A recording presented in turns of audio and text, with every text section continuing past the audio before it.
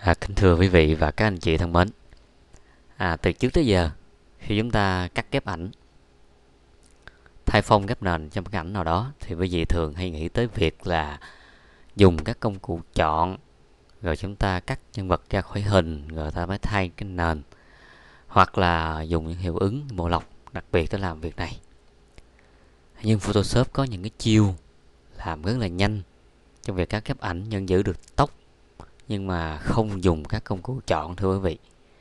Mà cái kỹ thuật đó, người ta sử dụng đó là channel nghĩa là kết hợp kênh của lớp để lọc ra những cái nền và mặt nạ lớp.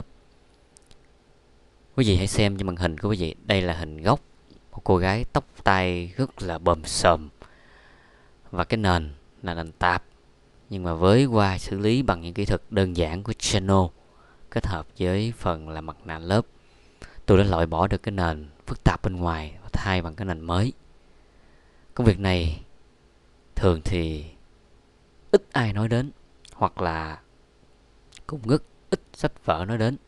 Nhưng đây là những chiêu mà trên mạng những cái website chuyên nghiệp người ta hay đề cập đến. Thì may mắn cho tôi là trong việc à, vô tình đọc được và tôi thấy rất là hay. Sau đó tôi đã học hỏi và dịp này đây để trình bày để quý vị được rõ hơn thì đến thực hiện bài này chúng ta thực hiện như sau thưa quý vị. Chúng ta tắt cái hình này đi. Bây giờ quý vị sẽ nhấn F7 chúng ta chuyển hình này về lớp layer 0 và bây giờ quý vị hãy tham khảo phần channel của hình. Cho thấy cái hình này là RGB nó được kết hợp với kênh Rich, kênh Green và kênh Blue.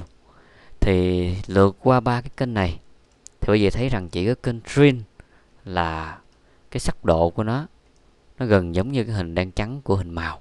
Do đó chúng ta sẽ lấy cái kênh này để mà xử lý nền bằng cách ta nhấn cạnh trên Z hoặc là copy kênh này. Nó có một cái lớp print copy. Bây giờ chúng ta đặt tên cho nó là lớp này, lớp max.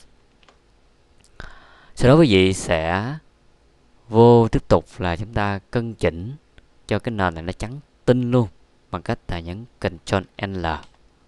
Và chúng ta sẽ thay đổi thông số cho cái phần này, thưa quý vị chúng ta kéo cái này xuống. Tăng cái này lên. Chúng ta tăng tiếp tục cái này lên, thưa quý vị. À thưa quý vị, chúng ta tăng làm sao cho cái vùng này nó trắng, tinh và bên đây nó đen? Nó đen hết thì là ok. Thường thì tôi sẽ chọn tăng kéo màu đen xuống, tăng trung gian lên, tăng màu trắng lên để cho cái nền nó trắng. Thì cái phần trắng của nền này khi vô phần mặt nạ nó sẽ tự động nó cắt rỗng nền cho cái hình. Chúng ta nhấn ok. Thì bây giờ quý vị thấy rằng cái lớp mát ta nó như thế này. Chúng ta sẽ giữ control và chúng ta click vào cái lớp mát này. Chúng ta có vùng chọn, thưa quý vị. Bây giờ quý vị chọn lại phần là srgb từ đó chúng ta qua phần layer các bạn nhấn shift F7 để đảo ngược cái vùng chọn ta đang có. Rồi, bây giờ quý vị sẽ nhấn vào tôi thành này để tạo thành mặt nạ lớp. Khi ta nhấn vào thì toàn bộ bên ngoài nó sẽ mất hết, thưa quý vị.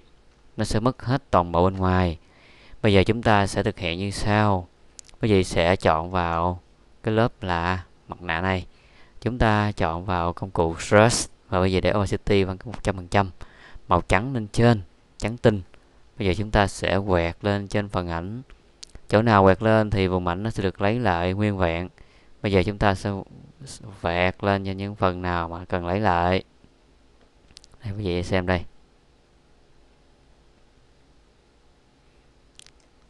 Rồi phần tóc này chúng ta cũng nên lấy lại chút xíu.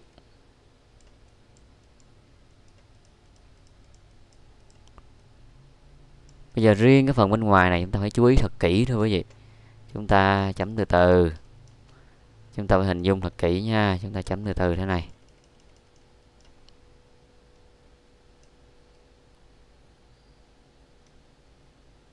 Rồi, bây giờ để kỹ hơn thì quý vị sẽ làm như sau chúng ta sẽ dùng cái công cụ này. Ta sẽ dùng tiếp tục công cụ lasso. Chúng ta sẽ chọn lên cái vùng này. Để chúng ta cần lọc bên ngoài đây.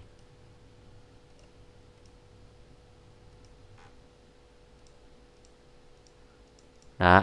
Rồi, bây giờ bây giờ cho feeder phản cỡ là hai. Chúng ta delete nó đi, thưa quý vị tương tự như vậy, chúng ta sẽ vẹt bên đây. Nếu như quý vị không muốn dùng cái lasso thì quý vị phải thật tỉ mỉ. Bằng cách này, chúng ta sẽ đưa phần harness cho nó thẳng cỡ 60 phần trăm. Rồi chơi cọ nó bán, chúng ta sẽ chấm từ từ thì thôi quý vị. Phải chấm thật cẩn thận chỗ này.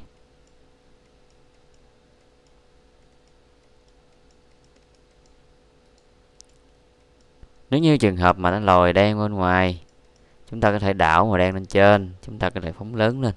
Chúng ta lọc bỏ chỗ này, thưa quý vị. Lọc bỏ chỗ này.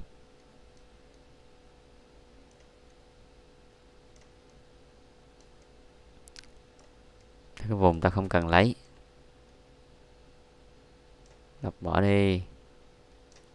Và khi làm, nếu không dùng lasso, chỉ dùng cọ thôi, thì quý vị phải thật là khéo tay. Cái tay vì phải thật cứng, thật là khéo nếu mà bị phạm vô ta bấm ít ta lấy lại. Và ít thì chuyển đen để ta xóa bớt. Tương tự như thế vậy hãy phải chấm tôi những phần này. Đấy. Thật cẩn thận thôi quý vị.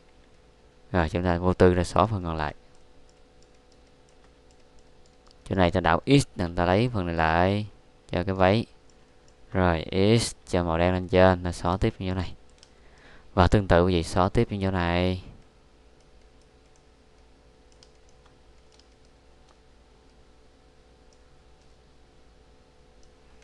Rồi, thưa quý vị, chỉ một vài cái thủ thuật rất đơn giản ta đã tẩy được cái nền cho nhân vật. Bây giờ chúng ta tạo một lớp mới, tạo một lớp mới hoặc là chúng ta sẽ lấy một cái lớp khác, cái hình khác ta đưa vào làm nền. Chúng ta sẽ tô màu cho nó thưa quý vị, ta chọn đây là màu màu cam hoặc màu màu đỏ bầm. Rồi màu trắng ở trên chúng ta có thể thêm một cái màu đây nữa. Rồi ta nhấn OK, chúng ta sẽ chuyển thành dạng là tròn dưới này. Thì đó qua một cái xử lý rất đơn giản chúng ta đã cắt ghép thay phong ghép nền cho cái ảnh chúng ta. Rất là ấn tượng.